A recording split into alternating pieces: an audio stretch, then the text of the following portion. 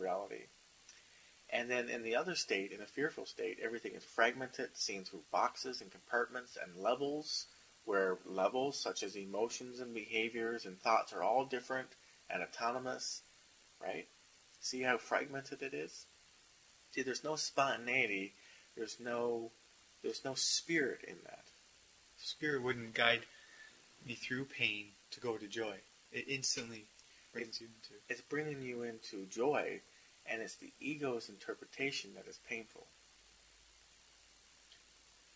You see, so the consequence of listening to the ego is pain. The consequence of listening to the Holy Spirit is joy. And it, the Spirit doesn't wouldn't guide you into situations that are difficult, that you know in advance are difficult, just to.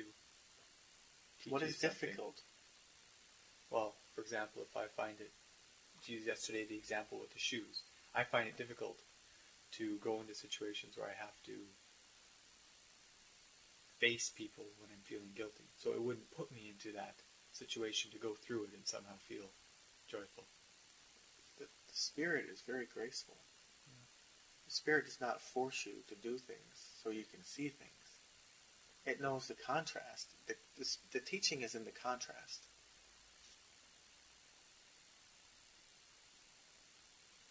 And it's all thought. So it's you got either in your right mind the thought,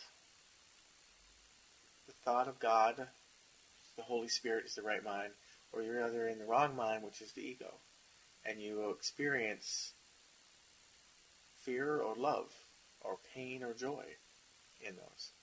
So the Holy Spirit is just calling you into joy, and if there's pain in awareness, then it's just the ego's interpretation. That's like coming here, you think, wow, this is such great. I'm going in my purpose. I'm going deep.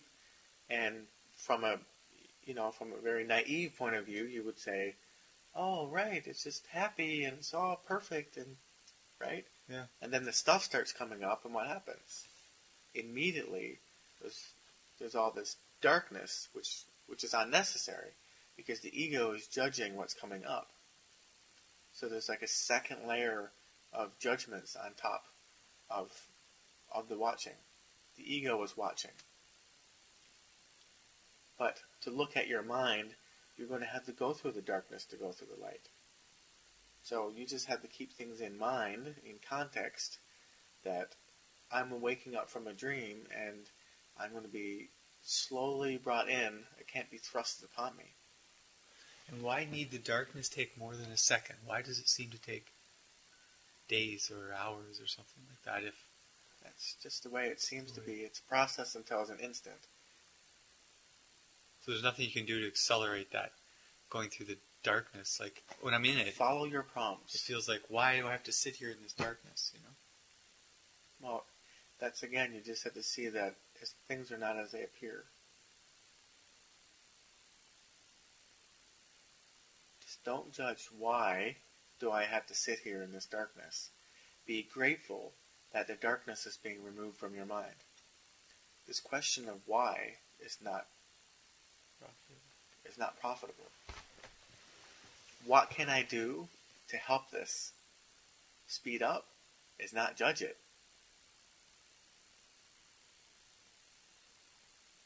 It was like you, were telling me, you know, when I feel really deep, when I'm waking up in sleep, feel this kind of heaviness or whatever. Just to allow it, not judge it. Well, normally I'd be like, okay, why is it like this? How do I stop it? How do I get?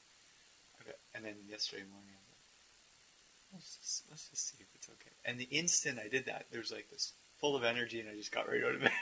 Mm-hmm. Because you just let things be as they are, instead of judging and breaking them apart and fragmenting them. so then next time I try to let things be, and that doesn't work. You just gotta actually let it be. Just let it be. It's just, again, it comes back to humbleness. I'm waking up from a dream of perception. It was made, not created, so there's nothing to feel guilty over. And you need to look at the ego and how it compares and fragments and judges things. And you just need to withdraw allegiance to the ego. Because you, your power of your mind is in the ego. And you need to be convinced by the miracle. Otherwise, you need to be convinced. Because you have so much faith in it. That's all you know. And it's not even real knowing. That's why it's so shaky. That's the art. It's just intuitive. And it's never about right and wrong. And if someone does seem to say you've done something wrong, then you just have to go in your mind and forgive it. Take it in as a claim and say, that's not true. I'm early in my awakening when I was following my prompts and I was teaching up in Ontario, uh, the biological sister Jody tried to make me wrong because I never came by. But I wasn't guided, and I was very honest. Am I guided to go there? No, do not go there. I don't go against my prompts. So I was told I was wrong, I wasn't a good brother, and all these things. So I took it in my mind and said, okay, well, I don't have to adhere to those concepts and images. Those are just unreal thoughts. And I blessed my sister, and that was it. You see? No one can make you feel guilty. No one can make you feel. It's all a decision in your mind. You just had to be determined to see things differently. And you can't be you can't be determined if you're determined to destroy your mind watching. You know, you can be the ego has a version of that determinism too. Yeah, I'm going to get in here on a witch hunt. I'm going to dig. I'm going to get totally look in my mind. We'll get rid of this 24 hours a ego. And someone comes along and they're trying to join with you, and you're just off into like you're just totally whacked out of it in your mind. Oh my god. But this is what happens to people in the awakening if they're not centered in the context of awakening. You know what I mean when I say that? The context is I am awakening from a dream of perception. I'm being slowly awakened into my mind. Yes, the immediacy of salvation is now, but I'm fearful. How do I know? My resistance reflects what I believe. So I'm afraid of love. I'm afraid of love. So I need to be convinced through the miracle. I need all the lacks of love to be collapsed, and in that, love is restored. So there is no rate of awakening. It's highly individualized. Yeah, and it's always the instant anyway. And the part that's being undone is not real. So it's not like Jason, you're becoming more enlightened. You're atoning, you're undoing Jason. You're awakening to what is already established, what is reality. So you never have thoughts that Jason isn't unraveling the bar, ball of yarn fast enough, or things Nope. like that. Nope, never. It's So- already done. Yeah. I see that you believe in the ego, but that doesn't make it real. So what really needs to be undone? And so the reason we're together is just you're following prompts. I'm following prompts. It's not about trying to make it uh, how how fast. We're not doing anything here.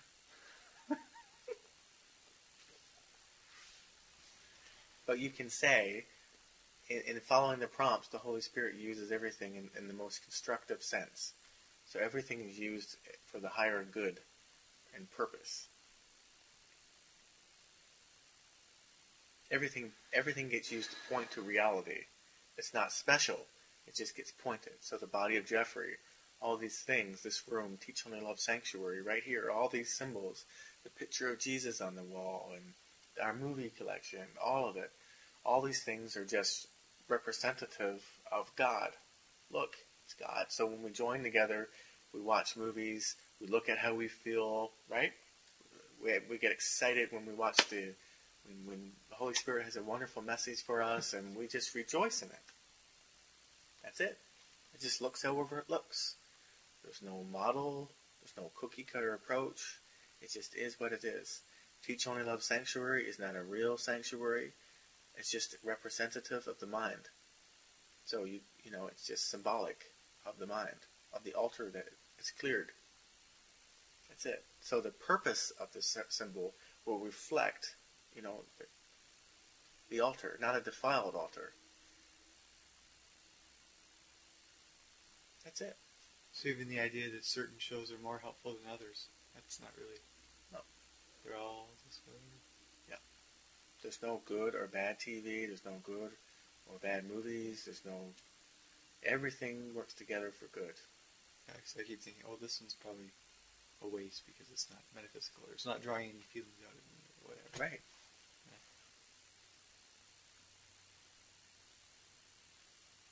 There's nothing to get. A lot of spiritual seekers go in and they go, Yeah, I didn't get anything from that movie.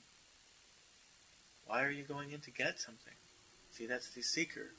It's going in for an entertainment. It needs to be entertained, either spiritually entertained or not. You go because you're guided to go, and then whatever is there you watch. If there's something that comes up, you you look at that with the Holy Spirit.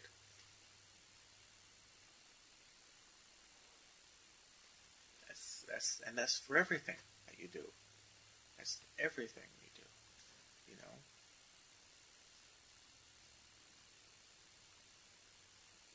Just be honest with yourself.